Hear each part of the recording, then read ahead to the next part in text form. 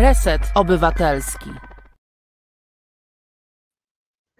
Dobry wieczór Państwu. Dzisiaj wydanie specjalne Godziny bez fikcji. Nagrywamy tradycyjnie w środę o godzinie 21. Publikujemy w sobotę, zapewne godzinę wcześniej. Jesteśmy bowiem solidarni z mediami strajkującymi przeciwko dodatkowym obciążeniom podatkowym, które w efekcie nie będą budować lepszej Polski, a lepszą Polskę jednej partii. Pamiętamy jednak też o tych, którzy nie mają reklam i swoją niezależność utrzymują dzięki państwu. Zachęcam dzisiaj szczególnie do zajrzenia na strony takie jak Patronite czy zrzutka.pl i rozejrzenie się, komu mogą państwo pomóc. Wpłaty, nawet niewielkie, dodają otuchy, pomagają w dalszym profesjonalnym działaniu. Sponsorem dzisiejszego programu jest Rabarbar, grupa fanów i fanek Resetu Obywatelskiego to nazwa sprawia mi wielką przyjemność. I ty możesz e, zostać producentem bądź producentką naszego programu, wpłacając na Reset Obywatelski w serwisie zrzutka.pl 100 zł Twoje nazwisko czy pseudonim, grupa Rabarbar, znajdzie się na specjalnej grafice na początku i na końcu losowo wybranego programu emitowanego przez Reset Obywatelski. Jeśli ustawisz 100 zł jako wpłatę cykliczną, będziesz producentem bądź producentką jednego programu miesięcznie. Zapraszam do serwisu zrzutka.pl. Dzięki Waszemu wsparciu będziemy mogli przygotować dla Was jeszcze lepsze programy i przypominam, że sponsorem dzisiejszego wydania jest Rabarbar, grupa fanów i fanek Resetu Obywatelskiego. Serdecznie dziękujemy. Zaczynamy zatem 11 godzinę bez fikcji w Resecie Obywatelskim. Ja się nazywam Wojciech Szot i co tydzień w środę o 21 zapraszam na rozmowę o tym, jak opisywany jest świat. Tydzień temu rozmawiałem z Karoliną Korwin-Piotrowską o tym, jak jej zdaniem oraz zdaniem rozmówców i rozmówczyni jej książki zmieni się świat po pandemii. Wniosek mieliśmy jeden. Nie czekajmy na świat, zmieńmy coś w tym, jak o tym świecie myślimy. Także tym medialnym. Zacznijmy zmiany po prostu od siebie. Wszystkie odcinki znajdziecie na YouTube. Zapraszam na nasz kanał Reset Obywatelski. Dzisiaj Państwa i moją gościnią w godzinie bez fikcji jest autorka kilkudziesięciu książek z zakresu historii sztuki, wykładowczyni, profesor Maria Poprzęcka. Serdecznie zapraszam. Dobry wieczór. Właśnie dobry wieczór. Dobry wieczór Państwu, dobry, dobry wieczór Panu. E, ja mam tutaj trzy e, książki, które zawierają felietony i eseje pani profesor przygotowane. E, zresztą wydawcą chyba wszystkich jest ten sam wydawca słowo obraz terytoria. Czy panią, bo wiem, że pani profesor próbowała się w balecie i w malarstwie próbuje zapewne dalej. A czy ciągnęło panią profesor do fikcji? Nie, nie, właśnie tutaj mnie trochę peszy y, nazwa tej, y, tej audycji, ale zanim zaczniemy rozmawiać, to chciałam przede wszystkim bardzo podziękować Resetowi Obywatelskiemu, że włącza się solidarnie y, w strajk mediów i że tym samym ja, bo byliśmy od dawna umówieni na dzisiejszy wieczór na rozmowę, Także mogę jakby zachować tutaj przyzwoitość i także w tym strajku, no w jakiś sposób, w jakiś sposób, w każdym razie nie jestem łami strajkiem. Za to bardzo dziękuję, że nie zostałam postawiona w roli łami strajka. Także serdeczne, serdeczne e, dzięki. E, pan gdzieś wyczytał o tych moich nieszczęsnych e, dziecięcych i młodzieńczych, młodzieńczych marzeniach. Tak, ja bardzo chciałam być baletnistą, Bóg mnie strzegł. Opatrzność, nie wiem jak to nazwać. W każdym razie, no, gdybym tą baletnicą została, to już była chyba trzy, trzykrotnie na emeryturze. Natomiast, natomiast dzięki temu, że były jakieś przeszkody natury zdrowotnej, chyba wymyślone trochę przez, przez moich rodziców, którzy jednak wiedzieli, co to jest za los. Prawda? Iść do szkoły baletowej w wieku lat 10 i wtedy decydować o swojej przyszłości, właściwie decydować o swoim życiu się, jak na 10 lat. No więc, no więc nie zostałam i tutaj e, to, to, to, to było jedno z gorszych rozczarowań mojego życia, bo to było takie rozczarowanie samą sobą. Ja bardzo się do tego przykładałam, byłam w takim zespoliku, już miałam takie pantofelki do tańczenia na puentach, także byłam zaawansowaną dziesięciolatką. No ale szczęśliwie y, tu dokonałam cięcia chirurgicznego, nigdy więcej, busiki poszły, jeszcze się z nich wyrastało natychmiast i tak dalej. Natomiast, natomiast no, z malowaniem ja byłam w liceum plastycznym, w którym szczęśliwie to było bardzo pięknie położone, bo to było w podchorążówce w Łazienkach, ale nie wspominam dobrze tej szkoły, ale nie chcę o tym mówić. Natomiast e, bardzo pożyteczną rolę to liceum odegrało, mianowicie pozwoliło mi zdać sobie sprawę z tego, że nie mam talentu. Więc to, to, to, to jest bezcenne zupełnie. Znowu tutaj się okazało, że nie mam zdrowia, potem się okazało, że nie mam, że nie mam talentu. No i mam talencik. Mam talencik. Nie, nie, nie, nie mam talentu tutaj znowu chirurgiczne cięcie, żadna akademia. Nie wyobrażałam sobie, że mogła być taką jakąś panią, która tam leci od hałtury do hałtury, tutaj zrobi broszkę, a tutaj zrobi okładeczkę jakąś do książeczki dla dzieci. Z całym szacunkiem, bo teraz są fantastyczne i broszki, i, i, i, okładki książek dla dzieci, ale wtedy to wyglądało, to wyglądało gorzej, no więc y, poszłam na historię sztuki, można powiedzieć, przed rokiem. No bo jednak już w tej sztuce byłam bardzo zanurzona, no i okazało się, że, że tutaj ten rozum no może tak źle mi nie, nie, nie, nie podyktował, czy nie, nie, nie pchnął mnie w złą, w złą stronę, z tym, że no ja długo żyję, więc y, łatwiej jest mi powiedzieć, czym się nie zajmowałam. Znaczy, na pewno nie jestem człowiekiem średniowiecza, to, to, to z całą hmm. pewnością, bo to jednak za dawno, za dawno. Natomiast no, wtedy, kiedy studiowałam, byłam zachwycona takim polskim, prowincjonalnym barokiem i właściwie nadal go strasznie lubię. Myśmy bardzo dużo jeździli na studiach i potem jak już pracowałam, to też objazdy były no, jednym z takich najbardziej atrakcyjnych elementów tych studiów. Wtedy nie mieliśmy samochodów, przecież gdzieś dotarcie na prowincję, gdzie nawet PKS-y nie docierały, y, szlaja, szlajanie się po jakiś straszliwy zupełnie gospoda, gdzie przyjeżdżało nas trzydzieścioro i były dwa kotlety mielone, trzy krupniki i nic to, to zupełnie osobny sposób poznawania tego kraju i jeździliśmy właśnie o takich e, moich najbardziej ukochanych, takich prowincjonalnych, małych, barokowych kościółkach, które gdzieś tam kiedyś parafia założona, jeszcze średniowieczna i tam gdzieś w murach tkwią te średniowieczne, e, średniowieczne cegły, no ale na tym są nabudowane jakieś takie klajstrowate, barokowe formy. Ja najbardziej lubiłam i chyba nadal lubię taki taki przyswojony przez polską prowincję włoski barok znamy raczej ze słyszenia niż z widzenia, że to właśnie ma być takie bogate i, i, i falujące i zdobne. I, e, e, bardzo, bardzo, to, to są dla mnie jakieś takie elementy polskiego krajobrazu, które strasznie mnie wzruszają i tak w ogóle siedzą, siedzą we mnie taki kościółek biały gdzieś tam, prawda, na wzgórku otoczony, otoczony lipami, koniecznie, koniecznie lipami, żeby one pachniały. E, no ale jak długo można się zajmować takimi kościółkami? Ja wiem, że, że są ludzie, którzy całe życie zajmują się jedną, jedną jakąś dziedziną, czy jedną, tak jak mówi moja przyjaciółka Agnieszka Morawiecka, jedną świadką, znaczy jedną świadką jakiegoś wieku. E, jak jedną świadką jakiegoś wieku, e, no ja jestem niewierna bardzo, także, także kościółki barokowe, jeszcze magisterium moje było barokowe, kościółki barokowe zostały szybko porzucone dla XIX wieku, no a potem im robiłam się starsza, paradoksalnie, im robiłam się starsza, tym mnie bardziej, coraz bardziej interesowała coraz młodsza sztuka. To jest, nie wiem, może to jest jakiś rodzaj próby odwrócenia porządku rzeczy, kompensacji, diabli wiedzą. No w każdym razie w tej chwili, kiedy już naprawdę mam bardzo wiele lat, to co mnie najbardziej cieszy, to jest to, co powstało wczoraj, dzisiaj, to, co, to, to, co w tej chwili się lęknie, prawda, w głowach, może bardziej w głowach nawet niż, niż w warsztatach, jak y, w warsztatach artystów. Także taka, taka jest ta droga moja, no, nieuporządkowana. Nieuporządkowana. I... Ja, ja się na niczym nie znam tak specjalnie, bo właśnie nigdy tej jednej ćwiartce się nie poświęciłem. Ale ja jestem z całym szacunkiem dla znawców jakiejś jednej epoki, czy jednego artysty, czy jednego obszaru. To nie jest lekceważenie, to prostu ja to widzę, można tak, można inaczej. No. Ja właśnie tak szłam pod prąd. Im, Im starsza, tym młodsza sztuka. I nie odpowiedziała mi jednocześnie pani profesor na pytanie, czy nigdy pani profesor nie ciągnęło do fikcji? Aha, prawda, że to miało być o fikcji.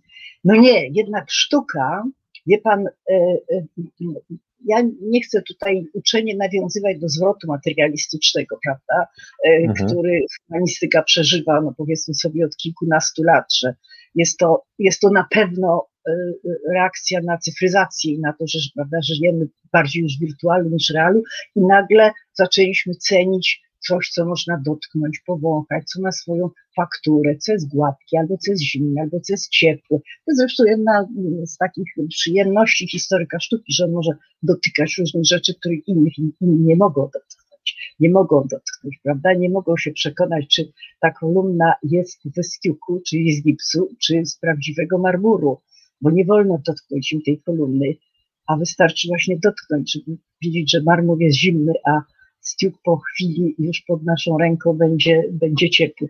Więc e, te wszystkie zmysłowe wartości, które przeżywają no, wielki, wielki renesans, no one też odciągają nas od fikcji. Ta historia, sztuka jest, jest, jest materialna bardzo. Można na jej temat pisać cudowne fikcje. Kiedyś także fascynowały mnie fikcyjne dzieła sztuki. Właśnie jeśli, jeśli mnie jakaś fikcja interesowała, to fikcyjne dzieła sztuki, które pojawiają się w literaturze.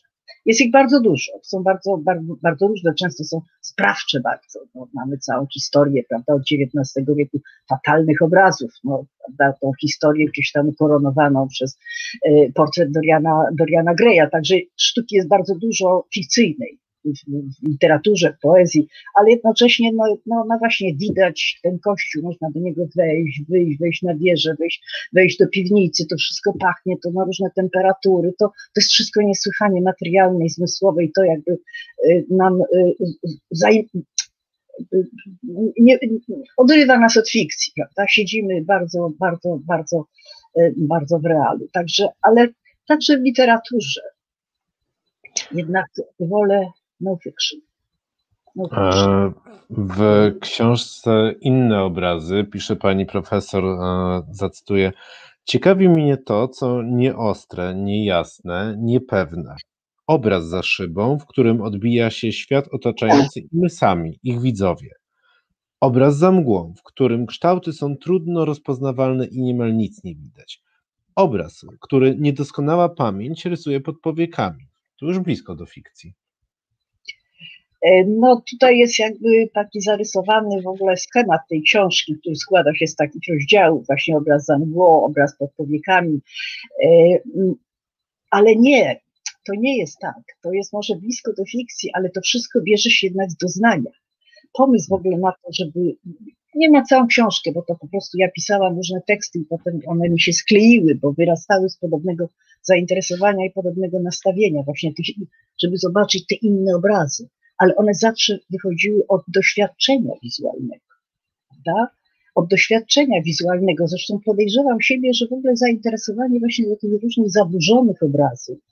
Potem ono oczywiście się obudowało różnymi tam lekturami naukowymi, aparatami i tak dalej. One wynikły z tego, jak zaczęłam gorzej widzieć. Ja miałam fantastyczny wzrok.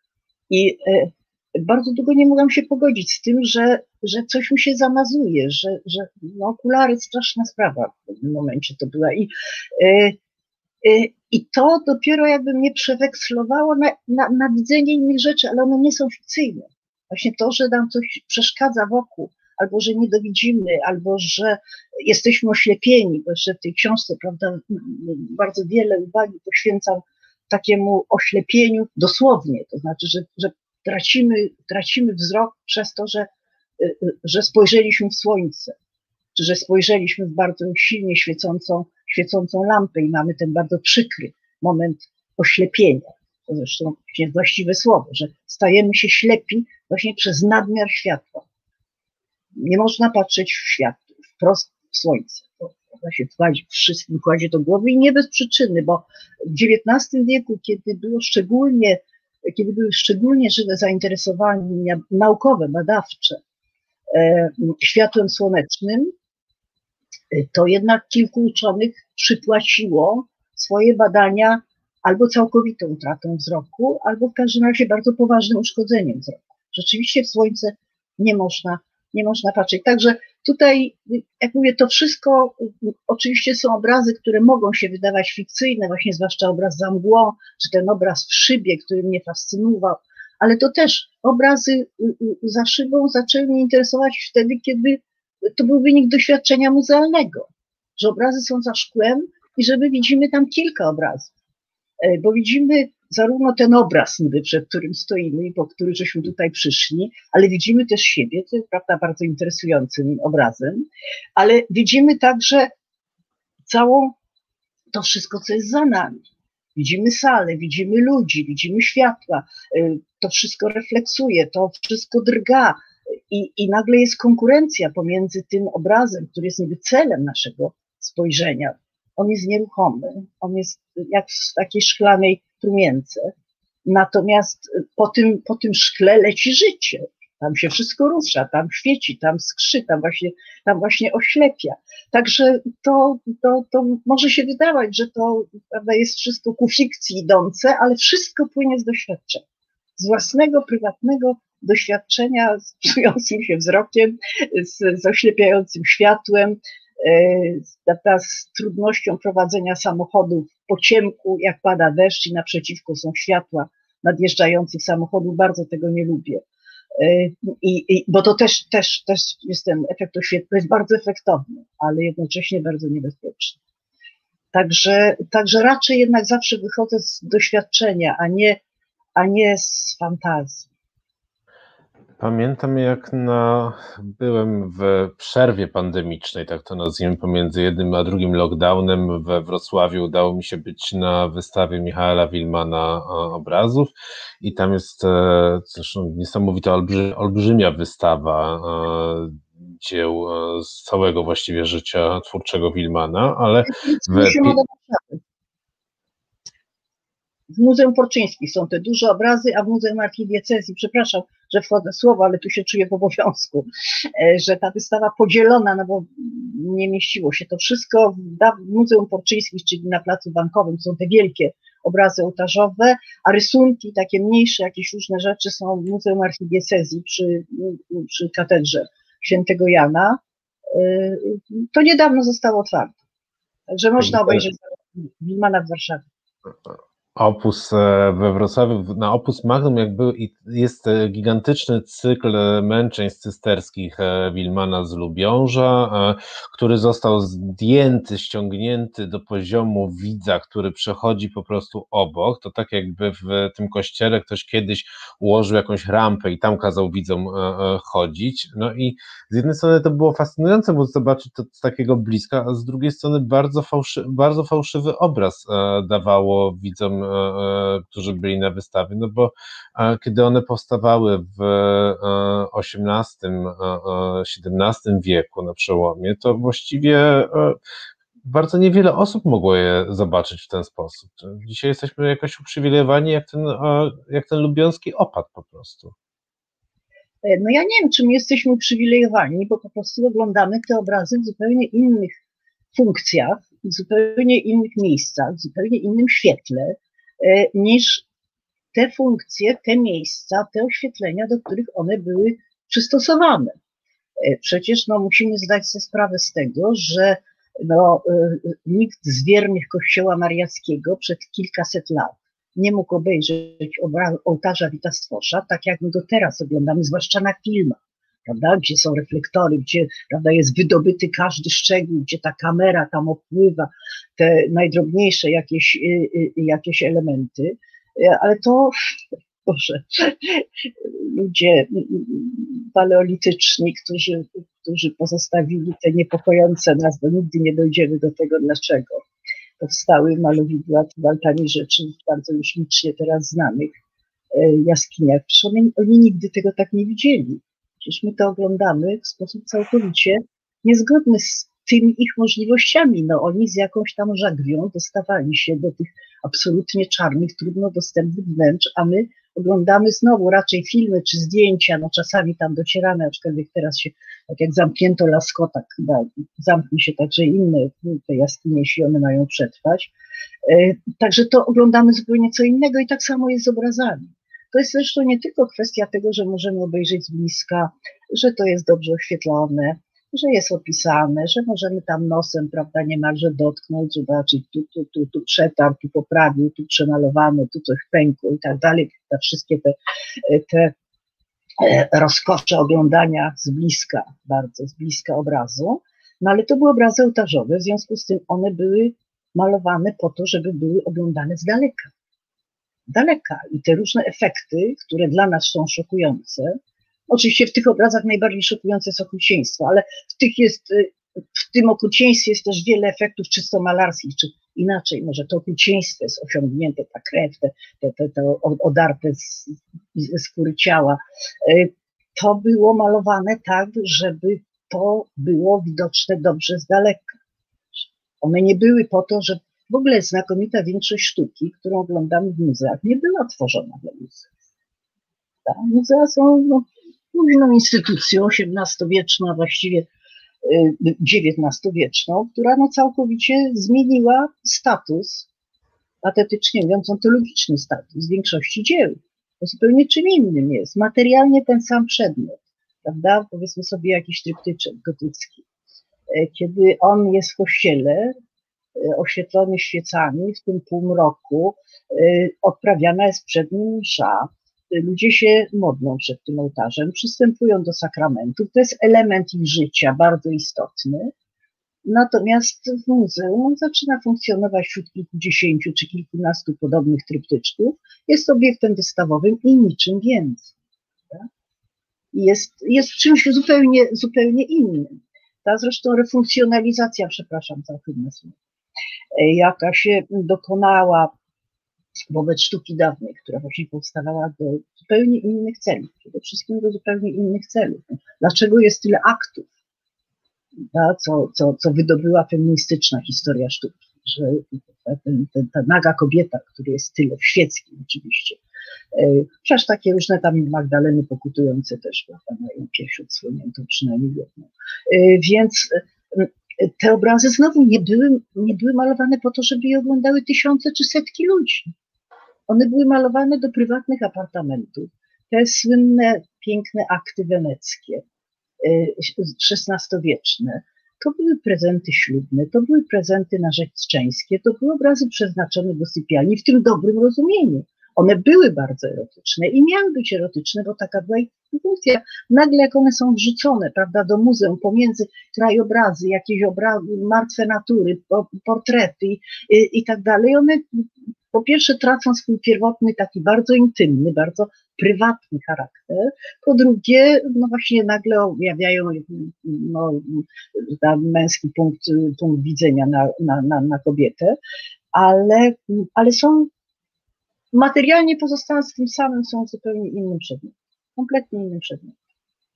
I to, to, to zdziałały muzea, to znaczy one ratując, bo bardzo dużo tych obrazów nie, nie, nie wyszło, prawda, z różnych tam tarapatów. E, gdyby one nie znalazły schronienia w muzeum, ale no, no można oczywiście bardzo przesadzając, ale, ale powiedzieć, że no bardzo wiele obiektów, bardzo wielu obiektom muzea uratowały życie, ale pozbawiły je duszy. Muzea czasem próbują uratować tą duszę, e, dodając efekty dźwiękowe, bo zdarzają się takie, zwłaszcza galerie średniowiecza, mają taką tendencję do nagłych jakichś chórów. Chorał gregoriański musi lecieć gdzieś tam. Skąd, tak. E, e, jakiś, wbudowania jakiejś absydy i postawienia w to rzeźby, albo to u nas w galerii Faras próba odtworzenia para kościoła na przykład, to czasem muzealnicy mają jednak trochę inwencji, żeby spróbować... Nie, nie, nie. Ja, ja jestem wielbicielką muzeów, proszę nie, nie rozumieć tego, co mówiłam przed chwilą, to po prostu jest no, powiem, stwierdzenie pewnego faktu, no, czego, czego dokonały muzea, ale, y, ale mm, muzea, zwłaszcza w tej chwili, no przynajmniej od ćwierćwiecza, może od 30 lat, mamy do czynienia no, z wielkim renesansem muzeów. Z jednej strony to jest ten wielki boom muzealny. Ja odsuwam sprawę polską w tej chwili, bo ona jest zupełnie czym innym, prawda? Polski boom muzealny jest politycznym boomem muzealnym i to jest inna historia. Natomiast, e, natomiast z jednej strony to jest e, to jest wysyp, zwłaszcza w końcu wieku XX i około 2000 roku, tych fantastycznych zupełnie budynków. Ten budynek muzealny okazał się dla tych takich star architects, tych, tych gwiazdorów światowej architektury najba, fantastycznie zupełnie podniecającym, podniecającym tematem, bo to nie jest tylko Bilbao, prawda? Każdy z wielkich architektów, czy to będzie Jean Nouvel, czy to będzie Zaha Hadid, czy to, y, czy to będzie Foster, każdy z nich projektował muzea, no, czy, czy, czy przynajmniej jakieś nowe skrzydła muzealne, bo to jest jeszcze osobna, osobna sprawa. Więc z jednej strony właśnie mamy ten niebywały boom architektury muzealnej, z tym, że na ogół to są muzea sztuki nowoczesnej.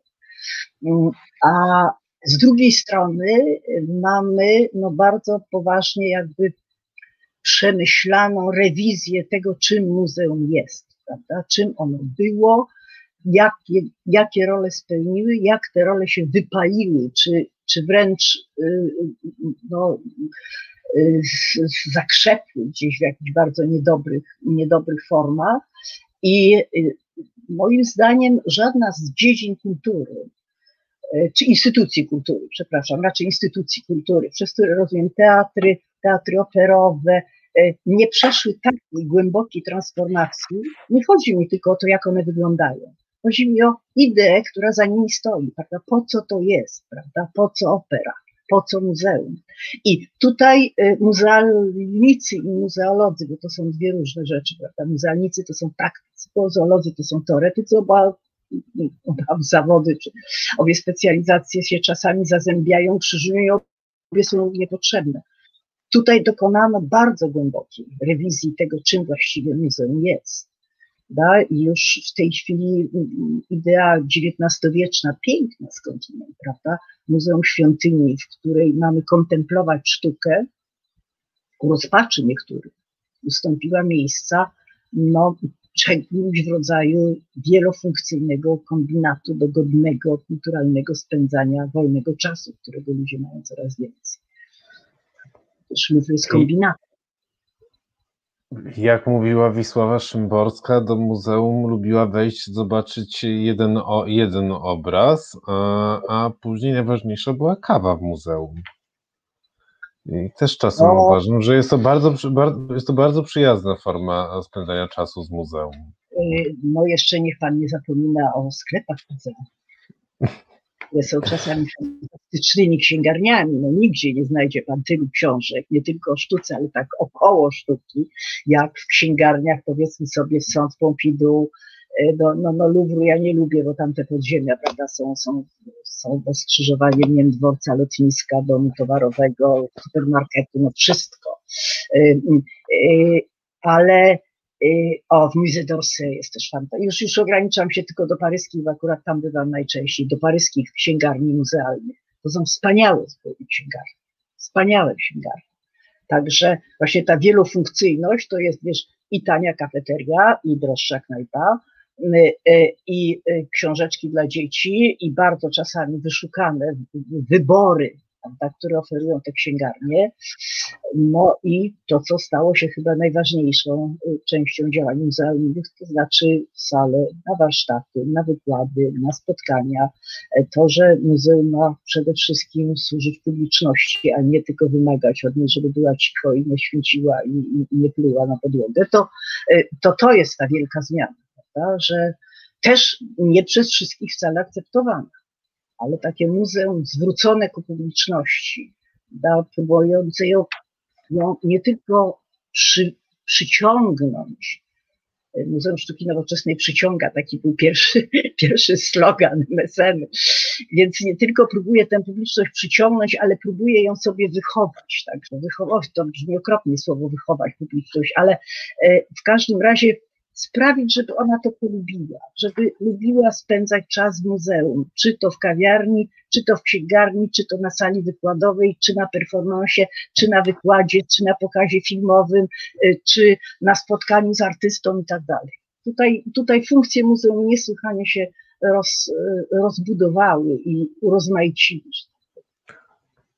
Podobnie jak z bibliotekami, które już e, przestały mhm. być miejscem gromadzenia książek, a są miejscem, e, w którym się zasadniczo organizuje działania, w których książka jest jednym z elementów, ale powiedzmy, że nie jest elementem nawet już głównym, nie musi być. E, więc ta zmiana, ale ta zmiana jest spowodowana taką demokratyzacją, przynajmniej w idei w ogóle instytucji, A z czym była związana ta zmiana z myśleniem o muzeum właśnie, kiedy one powstawały? Bo też to udostępnienie wydaje się właśnie też jakimś takim pierwszym elementem jej demokratyzacji tutaj nie ma, nie ma jednego scenariusza. To jest niesłychanie interesująca sprawa, że e, do muzea e, jako miejsca publicznego kontaktu ze sztuką, bo oczywiście kolekcje istniały od niepamiętnych czasów, natomiast zmiana na kolekcji na muzeum polega na tym, że czasami ta sama kolekcja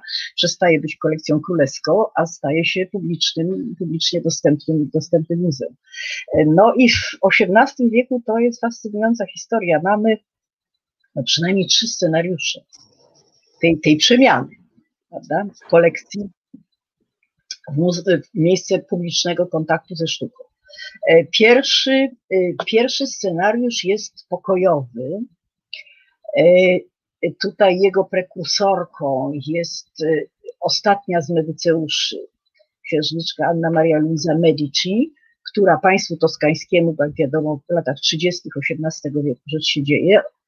Ona, y, państwa włoskiego nie było, więc państwu toskańskiemu ofiarowała zbiory medycejskie, tak, wiadomo jakie, które składają się na Galerii Uffizi.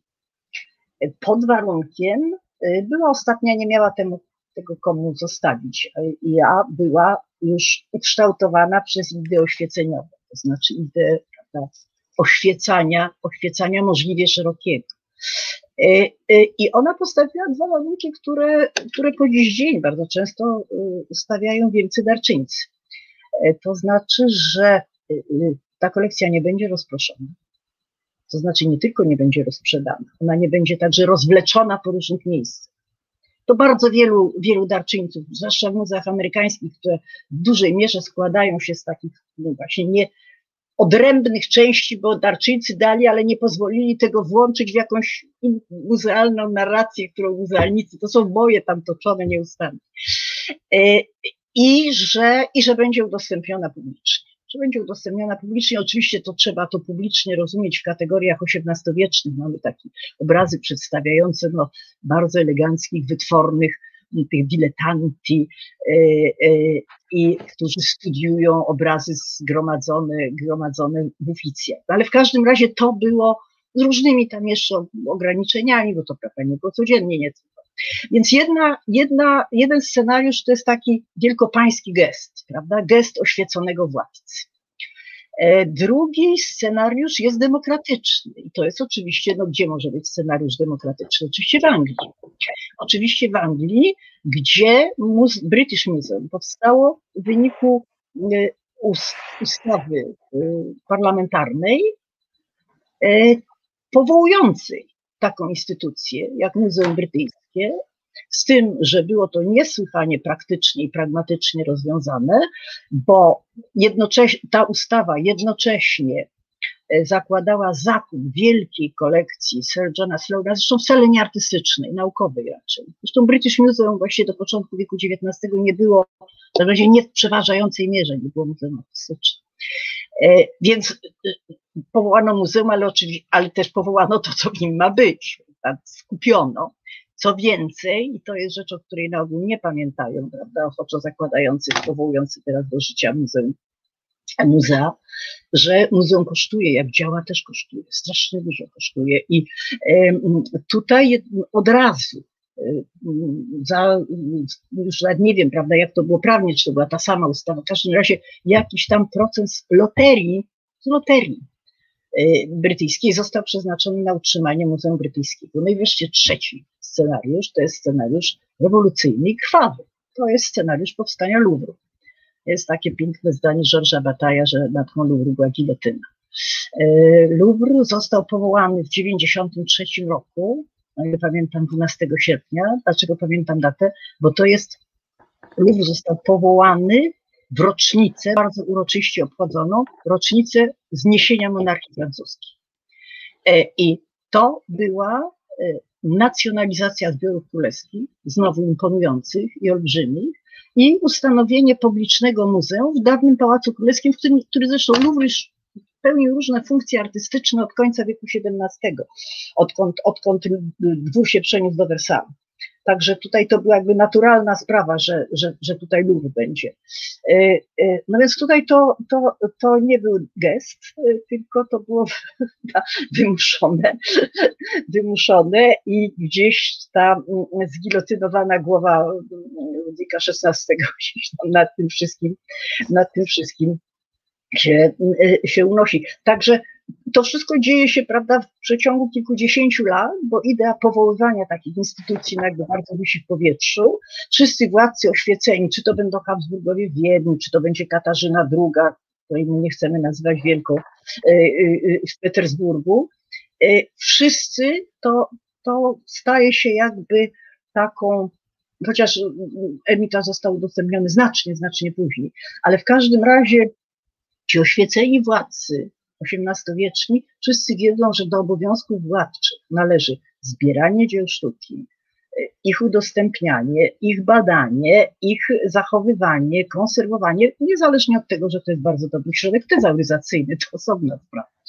E, e, że trzeba powoływać akademię, że trzeba kształcić ludzi, kształcić artystów i tak dalej, i tak dalej. To ktoś mógł być lubownikiem sztuki albo nie być lubownikiem sztuki, ale wiedział, że to do władczych obowiązków należy. E, I tutaj muzea właśnie no, albo sobie po, po dobremu można było przekazać te królewskie książęce zbiory, albo, albo dokonywano no, rewolucyjnej nacjonalizacji. Tutaj można dodać, że ta nacjonalizacja jednocześnie była uratowaniem tych zbiorów przed rozgrabieniem, czy przed, czy przed wandalizmem rewolucyjnym. Identycznie komentarzem w czasie rewolucji październikowej, że bardzo szybko Lenin e, dekretem e, e, stosownym upaństwowił zbiory carskie, też ratując je, ratując je przed, przed zagładą, ale to nie jest tylko taka materialny ratunek przed zagładą, to jest także znowu właśnie ta przy niezmienionym przedmiocie on staje się czymś innym. Da? Berło królewskie może być symbolem znienawidzonej władzy i bardzo chętnie by się to berło przetopiło, prawda, żeby je unicestwić. Mhm. Natomiast jeśli to samo berło zostanie wystawione w gablocie jako arcydzieło złotnictwa francuskiego i jest XV y, wieku, jest świadectwem wielkości francuskiego ludu pisanego z dużej litery, to ten sam przedmiot jest godzien największego szacunku i y, już żadnych, y, że tak powiem, nienawistnych uczuć nie budzi. Prze przeciwnie, my możemy być z tego dumni. To jest nasze dziedzictwo narodowe. Wtedy także pojęcie dziedzictwa narodowego się nakluje. To jest bardzo no. No dobrze, to w takim razie, jak jesteśmy przy dziedzictwie narodowym, rzeczach, e, które warto uratować do zbiorów i ustanawianiu hierarchii jednocześnie przez, e, przez instytucje e, takie jak muzea, to od razu możemy się przenieść do 2020 roku i kolekcji plakatów z protestów z, ze strajku kobiet. Bo Ej. właściwie, bo one też są, też teraz są kolekcjonowane. E, pewnie też e, przed, ratuje je to, e, a jednocześnie też ustanawia jakąś hierarchię. Więc ja byłam od samego początku zafascynowana plakatami, czemu dałam wyraz w takim tekściku w dwutygodniku. Wtedy, kiedy to się w ogóle, w ogóle zaczynało i wtedy wydawało mi się, że właśnie byle jakość tego nośnika, że tutaj jest ten niebywała zupełnie erupcja y, y, y, językowa. Przecież one także dla językoznawców będzie, będą niesłychanie interesującym materiałem. Przecież czego, czego tam nie ma, bo tam jest od najwyższego patosu przez rozpacz, poprzez różnego rodzaju dowcipy, które są bardzo elitarne czasami, prawda? Kaja Godek nie rozróżnia signifiant od signifié, prawda? Kto będzie się śmiał z tego, prawda? No, jeśli się y, y, rzuci grubym słowem, zrozumie to każdy. Tutaj właśnie ta, ta nieprawdopodobna zupełnie inwencja, która, która no, no, prawda, słynne, prawda, że Anuszka już wylała olej, to też znowu kto, ale ta, ta Kaja Godek nie rozróżniająca signifiant jest moim ulubionym. Ale y, mnie się wydawało, że to jest jakby znak czasu, że to wszystko jest robione na materiale w gruncie rzeczy śmietnikowym, ponieważ one są natychmiast fotografowane, filmowane, wrzucane, prawda, na Instagrama, na, na, na Facebooka, wszędzie i że w związku z tym je można już wyrzucić. I e, jak już napisałam to, to przeczytałam w gazecie, że właśnie Muzeum w Gdańsku zaczyna je gromadzić, czyli okazuje się, że jednak potrzeba, tutaj wracamy do tego, o czym mówiliśmy, potrzeba przedmiotu materialnego, tak, który można wziąć do ręki, jest bardzo silna, zwłaszcza u muzealników. E, I e, Muzeum Sztuki Nowoczesnej w Warszawie też próbowało je zbierać i po jakiejś tej jeszcze październikowej, jednej z tych wczesnych manifestacji, pod muzeum tam na tym skwerze porzucono te plakaty. Ja tam pojechałam, żeby to fotografować. One już były w bardzo kiepskim stanie, bolało, e, co karton jednak źle, źle to znosi. I, i e, tutaj chyba, chyba MSR nie podtrzymał tej, tej ale to będzie zmiana też, e, też kolekcjonuje i, i, i jest już przecież publikacja dotycząca, dotycząca tych, y, tych hasł, bo to jest, to jest fenomen y, dla mnie przede wszystkim, powiedziałabym, literacki. To było coś, coś w rodzaju takiego ścigania się na to, kto, kto inaczej, kto lepiej, kto coś wymyśli, kto do śmiechła, kto właśnie walnie, walnie po oczach. Jest fantastyczne. Fantastyczne. Z, z, z, już obcinając się tutaj w tej chwili, prawda, od, od, od tego, jaki jest tego sens i co je, co je, co je wywołało, ale jakby no, chyba nikt się nie spodziewał, tak jak władza się nie spodziewała, że, że wyrok Trybunału wywoła aż takie, aż takie reakcje, że właśnie jest pandemia i że wszyscy się będą bali. E, tak chyba nikt się nie spodziewał, że to właśnie wywoła ten nieprawdopodobny zupełnie wybuch inwencji, inwencji językowej, inwencji, y, y, nawet nie znajduję tutaj słowa, inwencji, no właśnie językowej przede wszystkim. To jest bardzo interesujące od strony językowej. Dama z gronostajem trzymająca e, błyskawicę e, zamiast zwierzątka na przykład e, z takich najpiękniejszych historyczno-sztucznych. Oczywiście Kaja Godek nie odróżniająca signifiance jest rzeczywiście porażającym, do, porażającym dowcipem dla wszystkich, którzy kończyli historię sztuki albo kulturoznawstwo, albo filozofię. Jest to taki inside joke no, bardzo. Lingwistykę, lingwistykę też, też, też. No, ale... Ale tak, bo ja próbowałem sobie przy okazji protestów, e, przejrza, przeglądałem wcześniejsze, też historyczne różnego rodzaju protesty w Polsce, takie bardziej studenckie właśnie, powiedzmy, e, że oddolne, chociaż wszystkie protesty w jakimś stopniu są oddolne. I właściwie wyszło, wyszło, że rzeczywiście jest to niesamowita różnica pomiędzy, nie wiem, protestami studenckimi w latach 70., pod koniec lat 70., gdzie e, oczywiście rozumiem też, że była, in, że była większa cenzura i jakby konsekwencje też niektórych haseł e, były bardziej, e, bardziej dotkliwe mogły być. Ale tu już to poluzo, poluzowanie rzeczywiście inwe, inwencji e, chyba miało też coś wspólnego z tym, w jakim czasie jesteśmy, bo jesteśmy też w czasie, kiedy e, cały czas musimy coś wymyślać e, e i, tak w czasie ready-made trochę. A właściwie no to coś takiego, że to...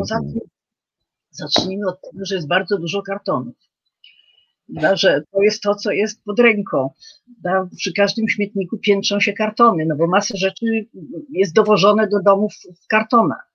Dawniej jak się chciało mieć kartony, żeby nam, nie wiem, książki zapakować czy coś takiego. ja, ja tu momencik, momencik, momencik. O, oczywiście, co jest karton? Jest oczywiście. Kartony są gotowe. Tak. Natomiast w tej chwili naprawdę y, y, kartony, kartony są tym, co samo wchodzi w ręce. Poza tym no, są, no, są mazaki. No, jest bardzo dużo po prostu narzędzi najprostszych, ogólnodostępnych. Prawda? Jeszcze tu kilkadziesiąt lat temu, żeby zrobić plakat, no to trzeba było mieć kawał dektu, dek, dykty, prawda? Kartonów nie było, pakowań nie było, trzeba było jakieś tam farby mieć plakatowe, pędzelek. No, każdy to już wymagało jakiegoś tam warsztatu. W tej chwili każdy może wziąć plakat, który jest przy najbliższym śmietniku i, i mazać. Czyli jest bardzo spotkać się z dotykalną stroną sztuki, a pan, pandemii nie mieliśmy trochę też. Sztuka przeszła, przeszła sztuka trochę do, do, interne, do internetu, no ale jeżeli, jeżeli domagamy się tej sztuki, dotyka, która będzie e, dotykowa, która będzie e, z naszymi zmysłami pracowała, to tutaj do, to tylko i wyłącznie wzroku, może słuchu trochę. No ja właśnie jestem bardzo ciekawa, czy, czy to takie przymusowe jednak w dużej mierze scyfryzowanie naszego kontaktu ze sztuką sprawi, że jakby się w tym pogrążymy i z tym się pogodzimy, czy tam do tego się przyzwyczaimy, e, czy też przeciwnie, wywoła taką tęsknotę za czymś, co jest naprawdę. E, ja bym nie przesadzała, chociaż to dla nas jest to niesłychane przyjemna historia, te, te ogonki pod muzeami, które są od kilku dni. No i wszyscy chcielibyśmy w tym widzieć właśnie wyraz tej tęsknoty za realem, prawda? za czymś, co jest naprawdę, co, co jest z czegoś zrobione ludzkimi rękami, które bardzo sprawnie posługiwały się różnymi narzędziami i tak dalej, a nie jest tylko takim takim omamem świetlnym, prawda, który może istnieć bądź też nie istnieć w zależności od tego, czy klikniemy, czy nie klikniemy tutaj jeszcze to powoływanie do życia i unicestwianie na tym jednym dotknięciem palca, to jest dla mnie coś przerażającego. A jednak jak coś jest z drewna, czy z brązu, czy nawet jest chociażby tylko olejem na, na płótnie, to, no to jednak niezależnie od naszej woli to jest, no jest. E, więc, ale to jest ciekawe. Ja mm, po prostu z ciekawością czekam na to, co będzie. Co będzie. Pewno będzie jak to zwykle, no trochę tak, trochę tak. No. Ja nie znoszę zajęć zdalnych i tak samo wiem, że studenci nie lubią zajęć zdalnych. No ale z drugiej strony, jak pomyślę, że z panem musiała się spotkać w studio, a żeby się spotkać w studio, to musiałabym odśnieżyć samochód, brnąć przez całe, całe miasto czy pół miasta, y, a tutaj siedzę przy własnym, przy własnym biurku i nie obchodzi mnie właśnie, czy samochód jest odśnieżony, czy nie jest odśnieżony. No tak samo, y, tak samo no z tym, że jednak wiele rzeczy może, mogą, może zobaczyć, mogą zobaczyć ludzie, którzy nigdy nie mieli do tego dostępu. No ja lubię dziwne małe opery, więc dla mnie te ostatnie dni, kiedy jest w Krakowie Festiwal Opera Rara, e, są, są pełne, pełne wrażeń. E, I znowu, no, myślę, że taka bardzo dobrze robione są te, te, te transmisje z, ze spektakli, bo one nie są tylko, że tak powiem, transmisją ze spektaklu, ale są jednak przygotowane do, do prezentacji, do prezentacji, do prezentacji wideo. Y, są reżyserowane jak spektakle, spektakle do, dokamerowe, no, takie określenie wezmę z naszej sztuki. Y, więc y, no pewno więcej osób może, może się przekonać, że to jakieś dziwne opery, się nie wystawia, to są za dziwne. E, czy to barokowe, czy to wręcz przeciwnie, zupełnie bardzo, bardzo współczesne, że mogą być czymś no, urzekającym, czy, czy, czy, czy fantastycznym. Jakby mieli się powlec do Krakowa, no to przecież żeby to zobaczyć i usłyszeć, to by się nie powlekli. No. Więc ja wiem, że tutaj to jest niesłychanie złożone. Także no, jak każda demokratyzacja. No. Zawsze Aha. niesie ze sobą uproszczenie, spłaszczenie, y, ograniczenie no, różnych subtelnych przekazów, które gdzieś tam mogą się kryć. No ale to jest, to jest ta, ta, ta, ta, ta cena demokratyzacji. Tak właśnie tego chcieli ci założyciele żeby tam lud się prawda, poprawiał w swoich obyczajach, w swoich myślach, w swoich uczuciach przez kontakt z pięknymi rzeczami.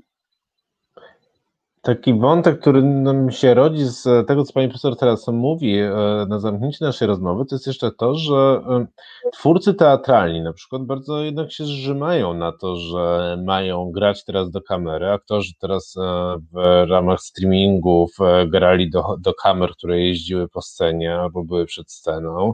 Reżyserzy zmieniali też i reżyserki swoje sztuki tak, żeby właśnie to było zagrane bardziej pod, pod kamery czy pod kilka kamer, które będą filmować i streamingować. Mm, to właściwie teraz pytanie jest, czy, czy sztuka współczesna, no, no, najnowsza sztuka też w jakiś sposób cały czas pracuje z tymi mediami, czy myśli o tych mediach, które będzie właśnie pokazywana, czyli e, jak myślę sobie w pierwszym, momencie, pierwszym odruchu w ogóle o Instagramie, który jest takim miejscem cały czas prezentacji, wszystkiego prezentacji. Tam, sztuka, nie sztuka, to wszystko się cały czas prezentuje i pięknie ma wyglądać. E, czy to też będzie dotyczyło sztuki właśnie, to, że medium w jakiś stopniu przejmuje kontrolę? E, e, sztuki, które no nie wiadomo jak je określać, bo już określenie wizualne jest także nie, e, mhm. nieadekwatne, bo ta sztuka też już ma głos, ona nie jest tylko prawda, dla oczu. Jest, jest multi, wielozmysłowa i, i, i multimedialna.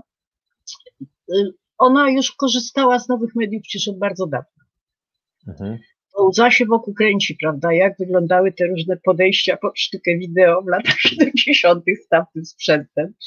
I to już jest pokazywane, prawda, w Zachęcie była taka wystawa, to jest wystawa głęboko historyczna, no nasi studenci jak na to szli, to w ogóle to, to, to nie była sztuka rodziców, tylko dziad, technologia, nie sztuka, ale dziadki, dziadki. Więc y, to nie jest tak, że to, czego zabrakło, to ludzi. To ludzi. Ja tylko się tutaj, ja się, ludzi ja się tu tylko na chwilę wtrącę, przepraszam, że tak, ale dla mnie najbardziej fascynujące na tej wystawie nawet były czasem nie wideo, ale sprzęt był. E, e, jakby wystawa tego sprzętu była absolutnie fascynująca. No, więc to, to, to że, że nowe media weszły do sztuki, one weszły w momencie, jak się pojawiły, to znaczy od lat 60., to jest jedna z wielkich zmian, które się dokonały. E, w sztukach, które właśnie nie wiemy, jak je nazwać w związku z tym, bo już plastyczne to w ogóle jest przedwojenne określenie, a wizualne też już wcale nie są tylko wizualne, tylko są, są, są, są multi, multimedialne i multi, e, multisensoryczne i są przede wszystkim procesualne. Tak?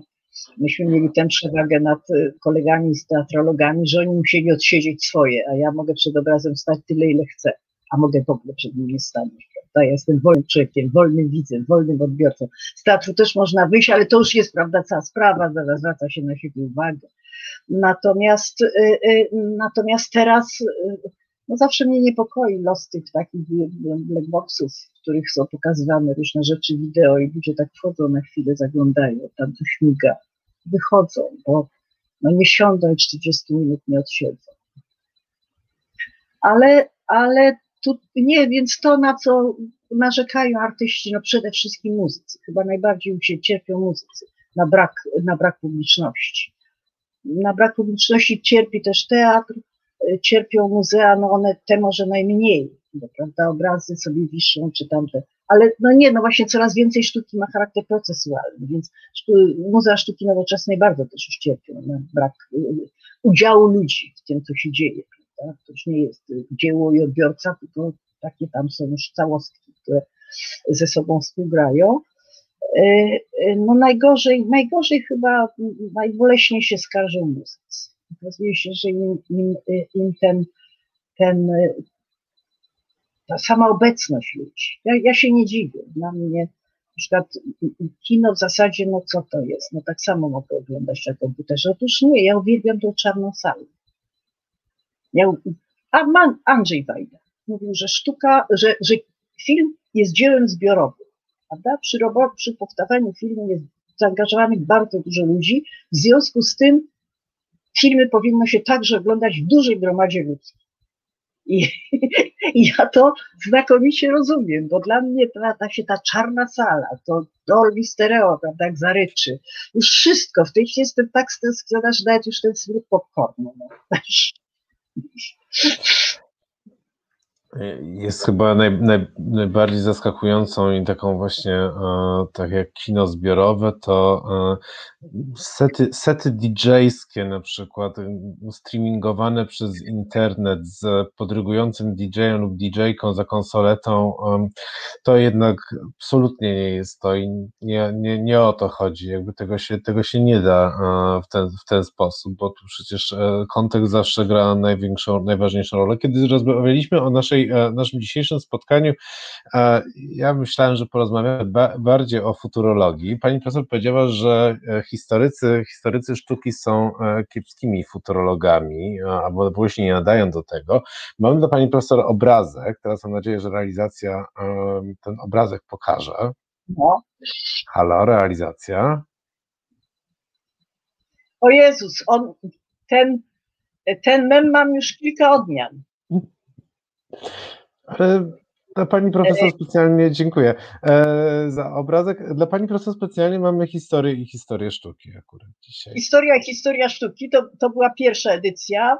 Potem przeszła, przyszła edycja znacznie gorsza dla historii sztuki, bo to było z jednej strony ta prawda, cudowna karnawałowa postać, to był visual studies, a, a ten nudziarz przy niej garniturze, to była historia sztuki, a potem jeszcze była jakaś, jakaś odmiana, już nie pamiętam, ale w dla mnie to ta, ta, ta degradacja historii sztuki na, na rzecz visual studies, które właśnie są tą szaloną nieznanej płci w dodatku, osobą w tych różowych, to nie jest boła, to wiadomo, jest jakieś, jakieś boła, jakieś, jakieś pióra, jakieś, jakieś skrzydła, te okulary niesamowite, więc właśnie to historia sztuki, właśnie to jest ten nudny gość w garniturze.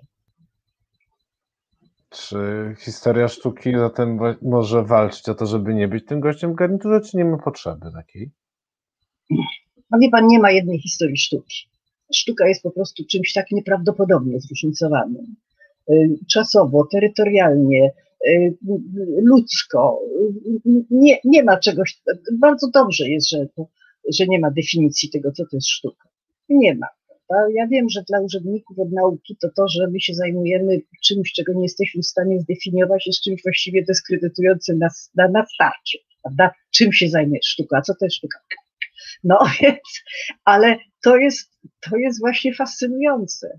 I e, tak jak nie ma jednej sztuki, tak samo nie może być jednej historii sztuki. No, to, to zależy od upodobań, temperamentu i, e, i każdy ma prawo albo sobie dłubać w swojej ulubionej ćwiartce i znać ją y, bardzo dobrze. Tutaj może na koniec przywołam w takim razie, no, żeby klasycy byli na koniec, tak, tak się robi podniośle.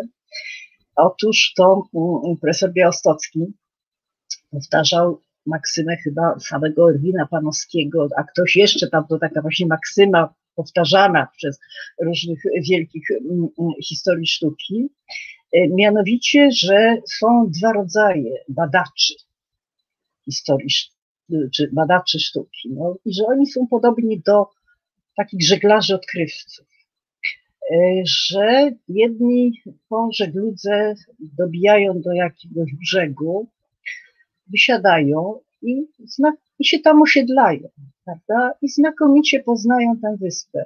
Znają zarys brzegów, znają wszystkie cieki wodne, znają wzniesienia, znają faunę, znają, znają florę. Stopniowo to wszystko obłaskawiają i ona przestaje już mieć dla nich tajemnicę, ale oni ciągle, prawda, badają tę jedną wyspę. Natomiast drugi gatunek to, jest, to są tacy mm, mm, mm, żeglarze, którzy dobijają do jakiegoś brzegu, usiądą, tam się rozejrzą, e, no i wsiadają i dalej.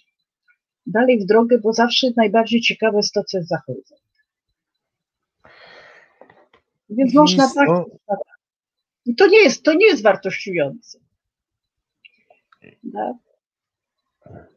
Bez tych, którzy siadają na jakiejś wyspie, byśmy nie mieli żadnej solidnej, tak zwanej faktograficznej, solidnej wiedzy, dokumentacji, znajomości i tak dalej, ale bez takich, którzy właśnie zawsze gdzieś będą chcieli czegoś innego, bo może za horyzontem jest fajniej i ciekawiej, no to bez nich też by to było właśnie nudne.